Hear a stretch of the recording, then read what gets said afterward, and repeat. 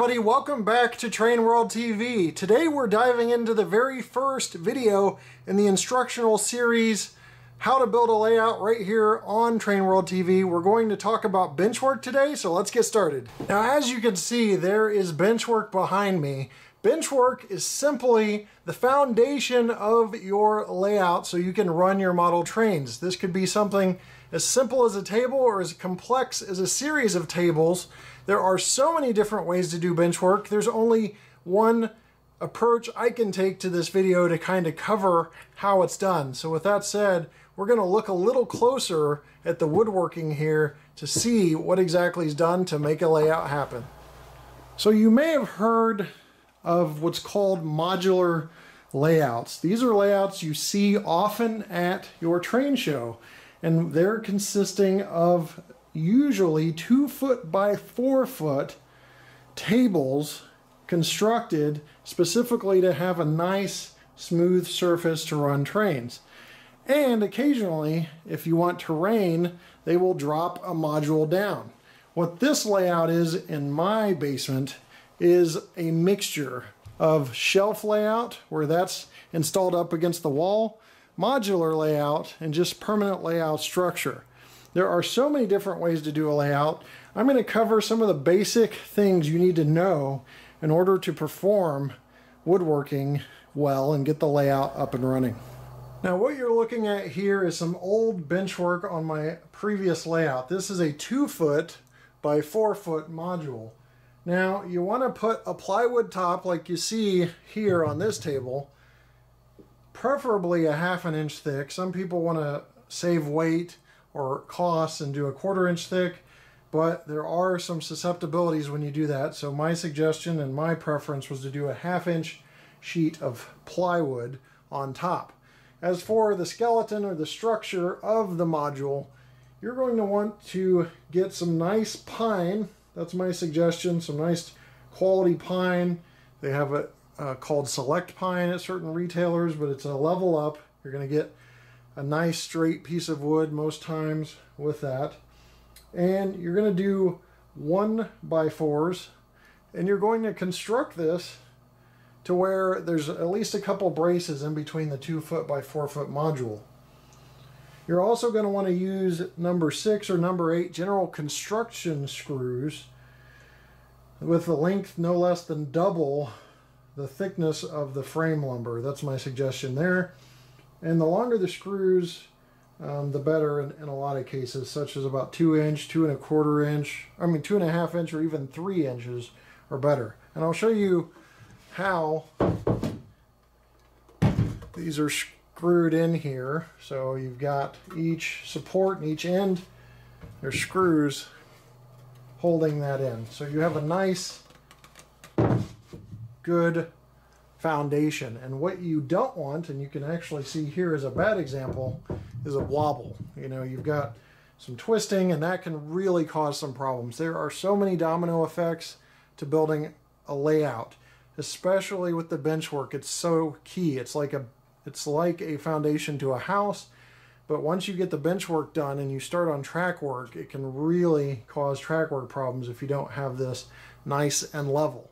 And my suggestion is if you don't want a flat layout, a lot of people don't, then you're going to want to subset different modules lower than others and form that terrain and we'll get into that later in the video. Another good point for the bench work is you want to go ahead and pre-drill holes. You see two holes here. This helps with your bus wiring and we'll talk about bus wiring in a later video talking about how you deliver power and DCC commands to your entire layout. So this is going to get more and more complex. So that is the basic type of bench work there, a four foot by a two foot by four foot module. Again, you see those a lot in train shows and I'll just give you a view of this from the side. And as you can see on my layout, there's your half inch plywood and your frame. And I did four foot by four foot posts because we have a hybrid layout. It's not just modular, it's also fastened to the wall in areas, so it can be a shelf layout in areas. We have drop bridges. There's so many different ways to go about it. And I've kind of taken a mixed approach. Why did I do four foot by four foot posts? Although pricey, they are a good option for more stability. I wanted absolute stability on this layout. And anywhere you take a level on this layout, that bubble is going to be in the middle. Now, if at all possible, you want that bu bubble dead center because over time, if it's even shifted slightly, you can create a grade. And we ran across that here in the construction of this layout. As you can see here, this will be the bridge area and you have a dropped area. That's how I think it's best to approach this so that you don't have so many issues with track because HO scale is so finicky. All it takes is one truck of one locomotive to lift off the track and you can have a derailment. Here's another example as you are not going to always have square layout frames. You're going to want to make curves and maybe go off on a peninsula. You can see this here where it's a frame that starts a little thinner and gets a little wider to meet up with the two foot by four foot posts. So you can do all of that. Teaching woodworking is a skill I can't do very well and I don't want to uh, say much about that, but I'm giving you a foundation on bench work. Now what I was talking about with these trucks on locomotives is as you can see this one doesn't have as much play but there's some play in these trucks and a good locomotive will be able to navigate some pretty difficult curves and track irregular irregularities but what you don't want is the track to suddenly dip or go up where there's a dip at the beginning where it's starting to go up and that truck starts to float and that's what causes a lot of derailments. That is why the layout and the bench work is so critical. Now, let's say you don't want to create different heights of the table. You don't aren't sure what you want to do with different terrain. There are tools you can use to help. There is a woodland scenic risers you can get I'll show you that basically on screen so you can see what those are. That it helps you elevate the track. You can also work terrain up around the track and we'll get to that in the scenery video. But there's just so many different options. And if you're saying to yourself, boy, that you know wood's really expensive, it's going to cost a fortune, there's what's called an open grid layout as well. And the open grid layout plan, I'll show you an example or two, but over here, it's just like this, but there are ripped pieces of plywood that go across where the track's going to be, and the rest of it's kind of formed in with all these different scenery objects or newspaper or chicken wire to make the terrain around it and really save yourself some money on wood and weight. Now that's more advanced in my opinion, for layout building. It's also more advanced for carpentry, so I don't mess with that. I just go ahead and make the whole tables and then I build the terrain around them. One of the key reasons it's so important to have good bench work is because there's so many different fastening options. There's shelf layouts. This is actually attached to the studs on this part of the layout. And then you're going to have cork road bed that you're going to put down, or some people will put foam down, and it makes it really, really hard with these materials to make an even layout without having this just perfect. As you can see here, the cork road bed's just slightly rising, and that's probably due to a screw under here, not countersunk. Now, countersinking screws is important as well. There's some tools for that. You don't want screws sitting up too much, especially where track is going to be or track roadbed is going to be. Not as big of a deal in the scenery areas because you can go over it with any sort of uh, product from Woodland Scenics. There's different items you can use to kind of cover that screw head up, no big deal. But if you're running in the track area, you want to make sure it's countersunk.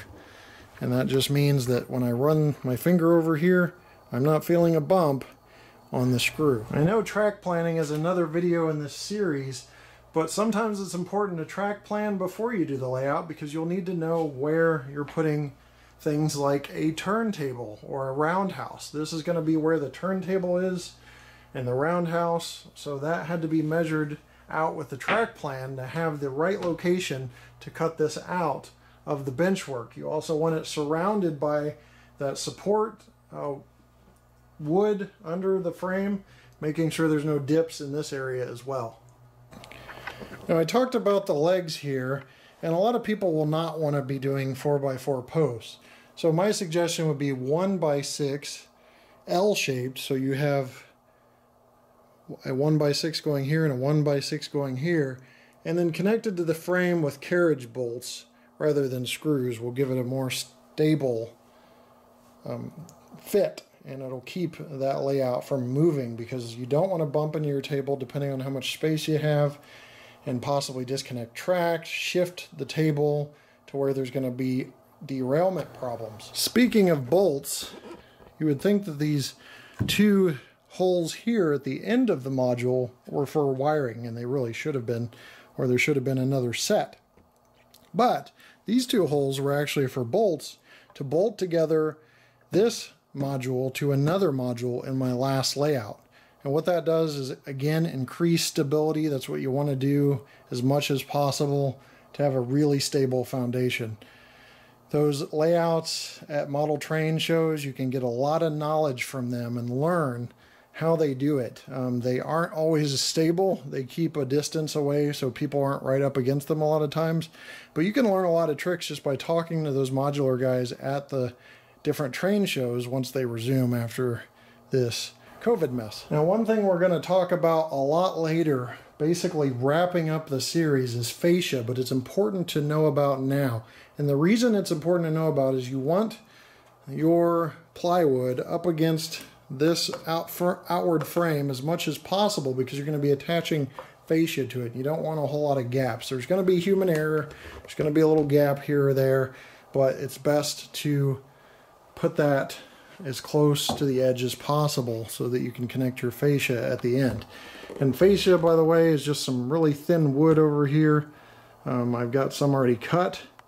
The black stuff right there uh, from my previous layout. It's flexible, so you can literally take it around the layout and you can bend it around. As you can see here, this is a fascia connection point, so we can bend it around this circular area. Probably a little better to see it as I zoom out. But you can just bend the fascia around, paint it, and it makes a nice finished look to your layout. And that's why it's going to be so much later in the series, but it's important to know about now. Okay, there's always stuff we don't cover. I'm going to try to remember all of it, but I'm going to give you a couple tips first. The first one is get you one of these. It's just a temperature and humidity reader. You want to check before you're building your layout to make sure that the area you're building in, if at all possible, has a low swing in humidity. As you can see here, there's a 2% swing in humidity in this room, and that's actually over the course of months where we've had highs near 100 and lows in the 40s and 50s. So that's pretty good, and it just changed to 3 because I'm holding it and probably emitting some humidity. Also, temperature on here is only a one degree difference in between all that, which is pretty amazing considering there's a garage door on one end of this layout. And I've actually put this down on that end so that you can, so I can see what the temperature is and it has not changed much. But as I hold this, because I'm a little warm and I emit humidity, you can see that it's going up. And even my breath will change it when you're that close. But it has been sitting, as you saw at the beginning, with a very low humidity difference. Now that's going to be more important on track than bench work, but bench work is susceptible to humidity too, and you'd be surprised what kind of problems can be caused. So try your best to have a stable environment. If you don't have a stable environment, that's okay, because there's ways to mitigate that. And I'm going to show you one of those over here. The reason my humidity is low is I have a dehumidifier hooked up to a tube that goes directly out with the furnace water. So that dehumidifier is keeping this humidity in check. Without it, it was swinging a lot more.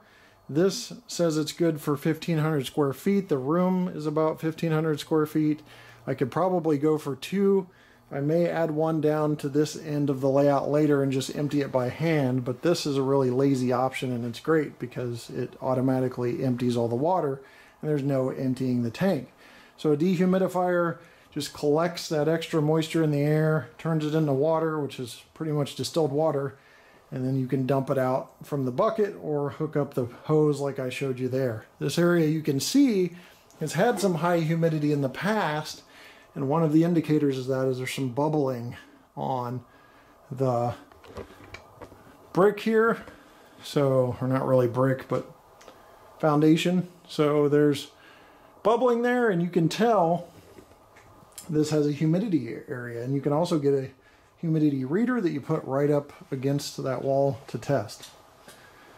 So cinder block foundation has some humidity in it. Now one other tip I want to leave you with is consider installing your lighting before you do your layout because once you start your layout, unless you just want to walk all over the bench work and install the lighting, you're going to want to have your lighting together before the bench work. You want even lighting, nice areas of lighting. There may be some variations, but you don't want many. Well, hopefully this video has you ready to tackle bench work, but don't be too upset if you still don't have your head wrapped around it. There's a lot to learn over years of experience from carpentry skills to model railroading specific benchwork skills.